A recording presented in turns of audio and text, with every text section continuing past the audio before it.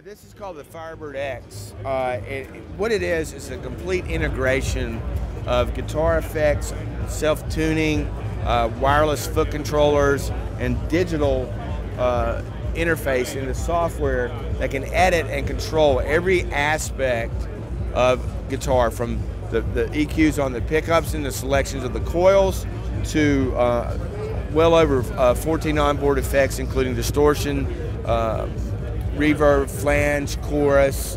Even can emulate acoustic guitars. Um, one of the really cool things that you would start with on this is the ability for the guitar to self-tune. So all I do is push this knob down and strum, and the guitar is now tuning itself. It tuned from E flat to standard that fast. Okay. Uh, it comes with 11 onboard tuning presets. Where in the software, I'm able to select um, and, and edit any tunings I want to and any combinations and put them anywhere in the 55 banks and patches that this guitar has. So uh, the first bank is Firebird straight pickups, and then you have distortion and reverb. You can add, edit on the, the sliders here on board the guitar by just hitting that button and moving the sliders and then saving the patch or three times you can restore the patch.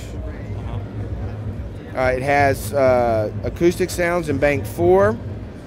You have modulations, delays, reverbs, distortions, and a host of uh, special effects that you can use as well. As for the uh, tuner, could you um, tune it so that it's one pitch or two pitches higher so that you don't have to use a capo? Yes, you can. Yeah, it'll go up, I think, about a minor third or something like that. But uh, you don't want to tune it much higher than that because you'll, break a string. But yeah, you can, you can go about a you you can go about a minor third in either direction. Uh, the guitar's been out for about three months now, and the retail is uh, four thousand nine hundred ninety nine American. But you get the, the pedals, the guitar, the interface, and the softwares as well as Guitar Rig 4 and Ableton Live 8.